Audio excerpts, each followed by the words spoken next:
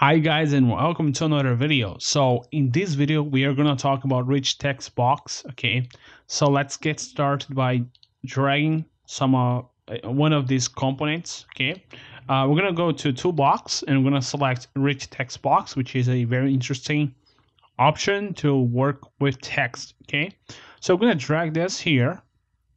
Uh, now again, that's many ways in which you guys could use this usually if you are reading a text file you need to have a good input to your text or to your application to display display text or something like that.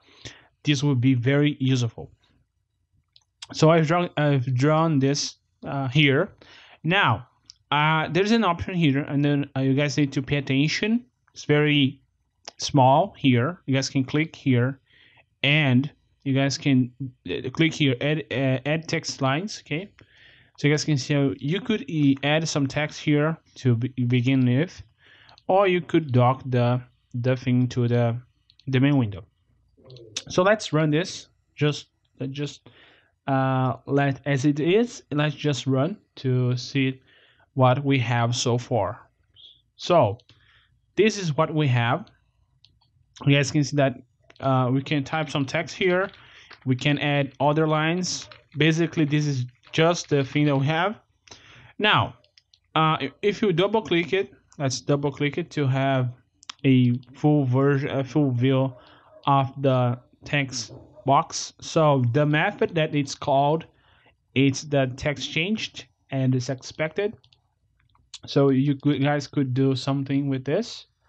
Uh, so for the sake of this video uh, we're gonna just what we're gonna do is basically let me think of something. Maybe we should um, let's in the form mode you guys can do this dot rich text box dot text which is the the attribute of text.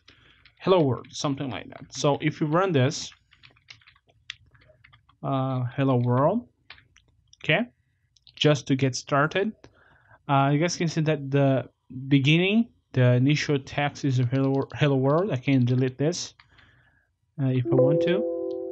But there are many uh, there are some interesting methods that is there's it, it exists especially in this uh, object that is to work with uh, text. And you're gonna have to look in this when you when we write a notepad application in the future okay? So this was the video guys. I hope you enjoy. See you guys next time